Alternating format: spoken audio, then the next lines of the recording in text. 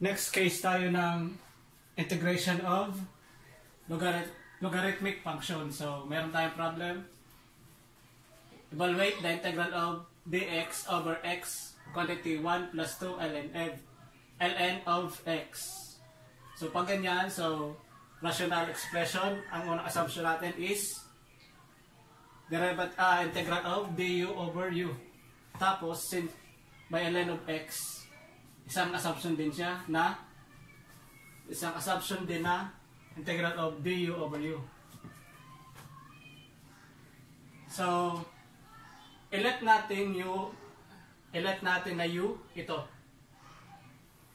So, yung mga mga term under sa sa close parenthesis, ginagawa yang u. Okay, under ng parenthesis, or another is exponent tapos example x plus 2 so itong term na to ginagawa din niya na u. Okay? Tapos ito ginagawang u. Ginagawa din niya na u. So yan. Ginagawa yung u. Mga term under sa parenthesis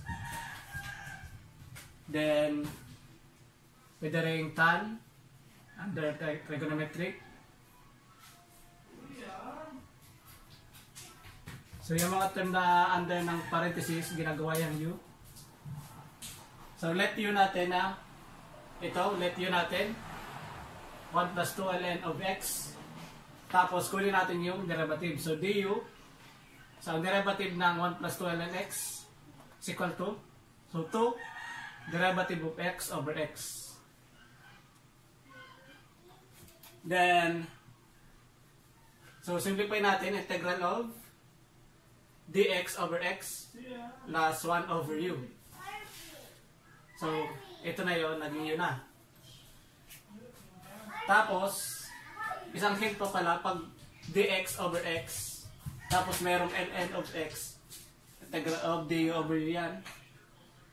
So, ang magiging equation natin, yung dx over x is, meron tayong dx over x.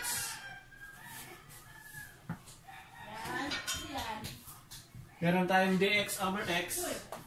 So, kulang na lang tayo ng 2. So, dagdagan natin ng constant na 2. So, pag tayo ng 2, dapat maglagay din tayo sa labas ng reciprocal ng 2 is 1 half para hindi mabago yung equation. So, meron na tayong du over u.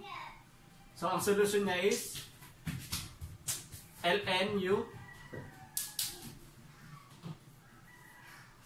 So, meron tayong 1 half. 1 half integral of du over u.